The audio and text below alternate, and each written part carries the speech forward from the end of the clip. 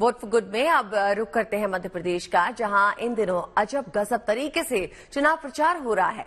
MP के जबलपुर में इन दिनों ढाई अक्षर चुनाव का बेहद चर्चा में अभियान बना हुआ है। अब ये ढाई अक्षर क्या है?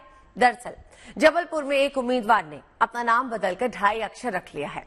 तो वहीं एक और नेता जी हैं जो प्रचार के दौरान वोटर से पहले वोट मांग रहे हैं और फिर नोट मांग रहे हैं। क्या है पूरा मामला? जानने के लिए देखिए हमारी ये रिपोर्ट। चौबीस घंटे कभी भी आ जाए। बात तो ठीक ही है। अपना एमपी गजब भी है और अजब भी। लेकिन साथ में उतने ही अजब और गजब हैं एमपी वाले भी। अब क्योंकि मौसम चुनावी है, सो आपकी मुलाकात ऐसे ही दो अजब गजब एमपी वालों से हम करवाएँगे। इनमें से एक हैं वो जो पहले से नेता नगरी के वासी हैं। तो वहीं दूसरे फ़िलहाल भावी नेताजी की श्रेणी में आते हैं। बात आगे बढ़ाएँगे और मामला समझाएँगे लेकिन पहले जरा ये सुनिए। वोट भी दीजिएगा नोट भी दीजिएगा।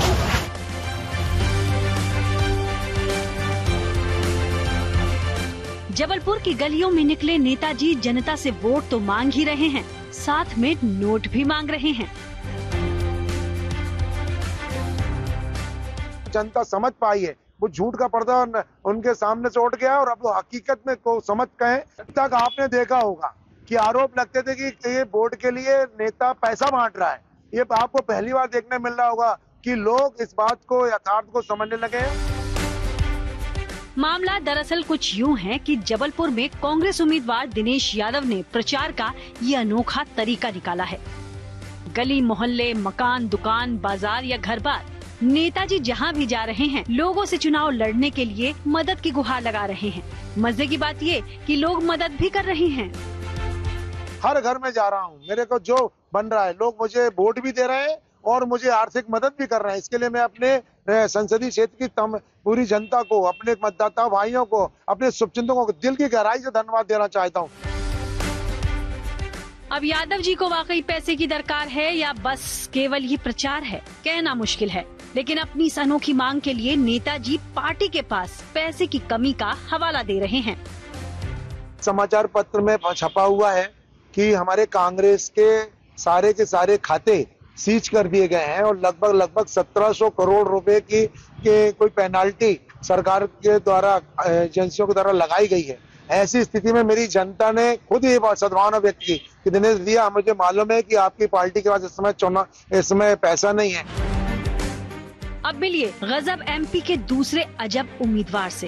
वैसे पूरा नाम इनका राकेश सोनकर है लेकिन भावी नेताजी ने अपना पूरा नाम बदलकर दो और आधा यानी ढाई अक्षर का रख लिया है।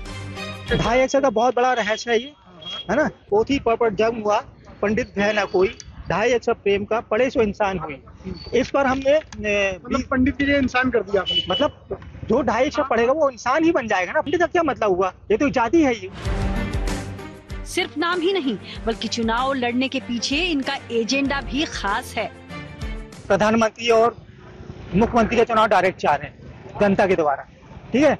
और कोई भी प्रत्याशी, लोकसभा प्रत्याशी, कोई भी मतलब राष्ट्रीय मुद्दे पर चुनाव न जीते। अपने आप विकास जो आपका एजेंडा है शहर लेवल पे, आप उसमें जीतो चुनाव।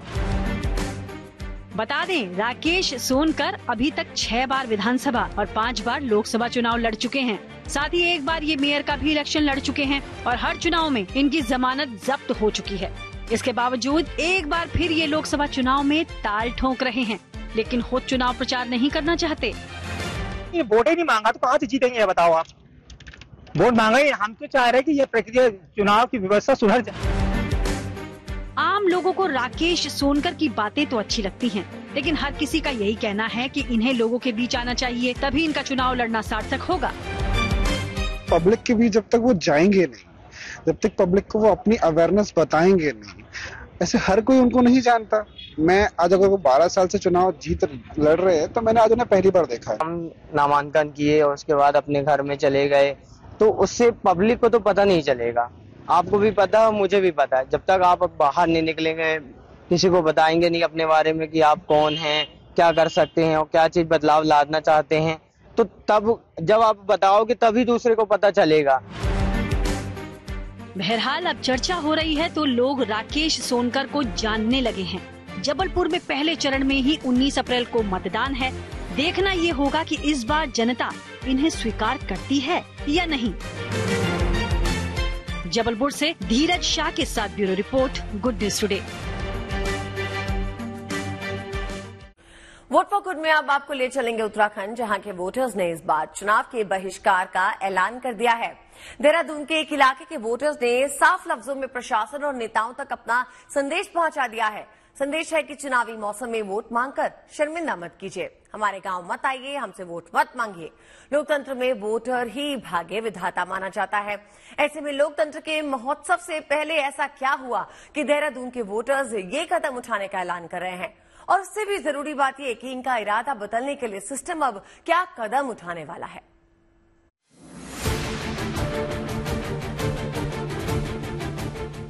चुनावी मौसम में वोट मांग कर शर्मिंदा न करें। हमारी ग्राम पंचायत में रोड बनवाकर प्रवेश करें। हमारी ग्राम पंचायत में वही नेता वोट मांगने के लिए प्रवेश करे, जो हमें रोड बनवाने के लिए लिखित में विश्वास दिला पाए। जब तक हमारी रोड नहीं बनेगी, तब तक हम भीख देने को तैयार हैं, लेकिन वोट देने को नहीं। ग्रामीण एकता। जिंदाबाद। शासन प्रशासन। उत्तराखंड की राजधानी देहरादून से केवल 20 किलोमीटर दूर मिसराज पट्टी में लगा ये लाल रंग का बोर्ड लोकतंत्र में एक नागरिक के अधिकार और कर्तव्यों के बीच की लड़ाई का दस्तावेज़ है। ग्रामीण एकता। जिंदाबाद। ग्रामीण एकता। जिंदाबाद। वो लड़ाई जो मिसराज पट्टी के लोग कई सालों से लड़ रहे हैं। शासन और प्रशासन को नींद में से जगाने के नारे लगाते लोग आपको अपनी टीवी स्क्रीन पर दिखाई दे रहे हैं। अब एक नज़र उस सड़क पर डाल लीजिए, जिस पर ये लोग खड़े हैं। ये वही आम लोग हैं। हर चुनाव में इस उम्मीद के साथ वोट डालने के लिए लंबी कतारों में लगते हैं कि जिसे वो चुन रहे हैं, वो उनके लिए बेहतर वर्तमान और बेहतरीन भविष्य के रास्ते बनाएगा। लेकिन भविष्य की क्या बात और कल की कौन सी उम्मीद, जब वर्तमान ही कई बरसों से इस टूटी सड़क पर हिचकोले खा रहा है? पहले आज़ादी आई, फिर आज़ादी की पिछहत्तरवीं सालगिरह। राजधानी देहरादून से महज 20 किलोमीटर की दूरी पर मौजूद आठ छोटे छोटे गाँवों की ग्राम पंचायत मिसराज पट्टी के लोग हर रोज पाँच से छह किलोमीटर के इसी उबड़ खाबड़ और पथरीले पहाड़ी रास्ते से होकर अपना सफ़र तय करते हैं। दशकों से अलग अलग विभागों के चक्कर काट कर ये थक चुके हैं। बीते दशकों में प्रदेश में कई सरकारें आईं और गईं, मगर मिसराज पट्टी के लोगों की सड़क की मांग अब तक अधूरी है। यही वजह है कि मिसराज पट्टी के लोग चुनाव का बहिष्कार करने का ऐलान कर चुके हैं।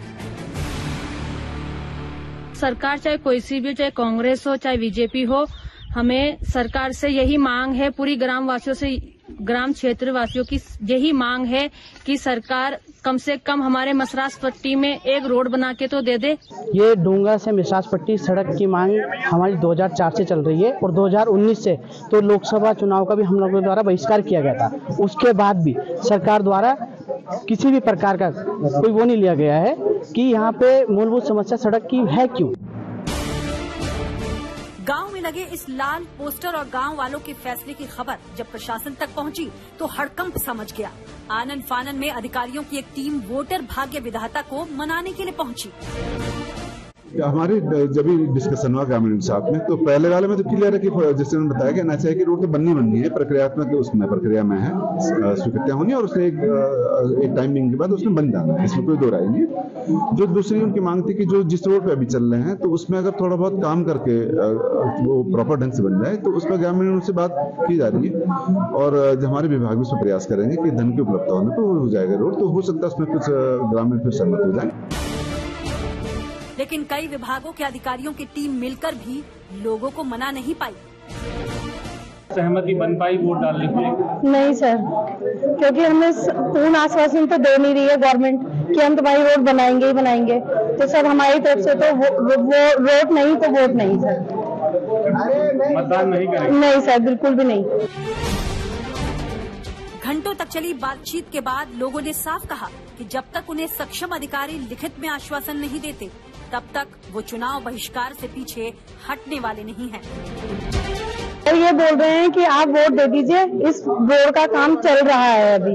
और ये लिखित रूप में हमें देना कि इसका काम होगा ही होगा तो हम वोट देंगे नहीं तो हम नहीं देंगे सर। आज जितने भी अधिकारी यहाँ पर आए हैं वो किसी भी प्रकार से लोगों को कन्विंस नहीं कर पाए।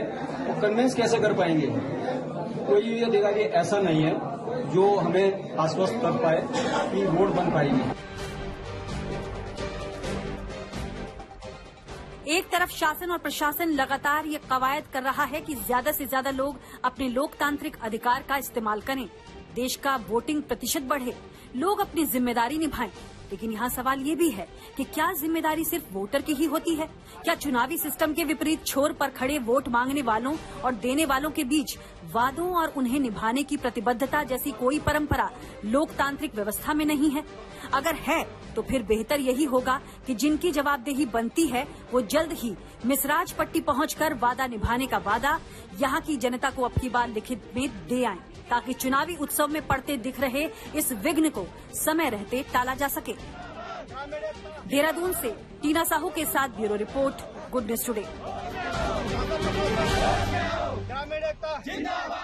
Vote for good में मेरे यानी आदित्य के साथ बस इतना ही। मुझे दीजिए इजाज़त और आप देखते रहिए जीएनटी यानी गुड न्यूज़ टुडे।